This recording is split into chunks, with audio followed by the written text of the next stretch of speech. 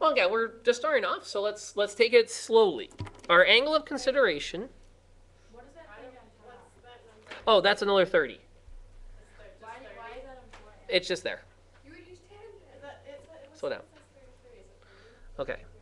It's a 30. Because if this line is parallel, these would be alternate interiors. And we'll do stuff with angle of declination later. For now, this triangle right here is your important triangle. As our bomber, bomber comes in on approach. So 4,000 feet here, 30 degrees here. Uh, before I get too far along, let's get the sides labeled. Where am I going to put the opposite? That's the 4,000 feet. Adjacent. That's the x. And the hypotenuse then will be this side here, right?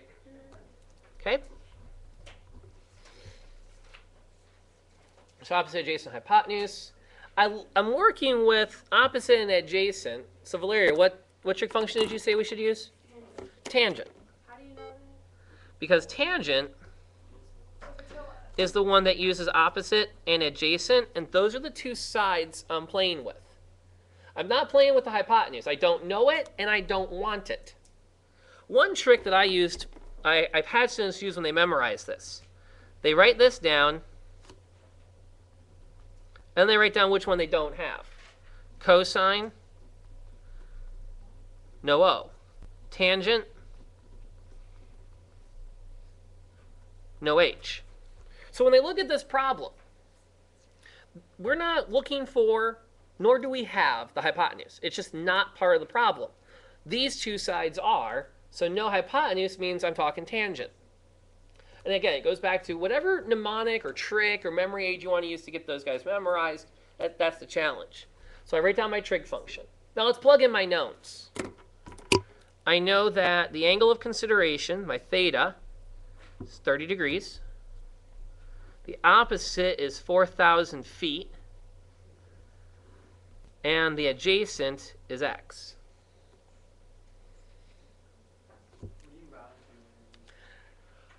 I usually round to the nearest hundredth. They usually say round to the to at least the thousandth, and your calculator rounds it. I want to say out like ten place values. Your calculator goes as far as it needs to. Um, depending on what you're doing, you might have to do that. If you're trying to put guys on the moon, for example, you really don't want to cut corners with your rounding. We're not. We're just doing some examples to learn the concept. You get to get away with a bit. Um, so according to this 0.577 is the tangent of 30 degrees. That's what my, uh, not, the, not, there's no symbol on it. There actually are no units on the trig ratios. So 0.577 over 1 is 4,000 feet over x. What did you type in to get point five seven? Um, depends on my calculator. If you have a if you have a calculator that you enter everything and push equal, you would push the tangent button and then 30, and push equals. If you have the kind that you just have a little screen with numbers in it, you will put 30 in, push the tangent button, and it'll pop that up. And again, if you get something else, you're in the wrong mode. Uh, shift to degree mode because that'll happen on your homework. It'll happen on the quiz.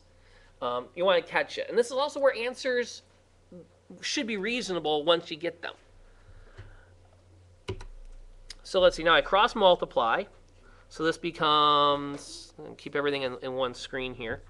0.577x is 4,000 feet divided by it. I'm going to get an answer somewhere around 9,000 feet, I think. 6,000? Oh, that's right. It's not more than it's not more than doubled. It's less than doubled. Um, so 4,000 divided by 0.577. Yeah, 6932. Uh, round to the nearest foot.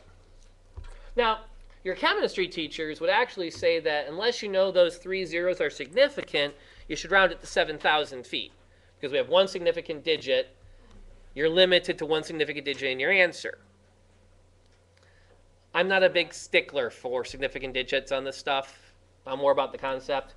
But uh, if I hear from chemistry teachers that you're, you're slipping on your sig figs, I, I will become a stickler.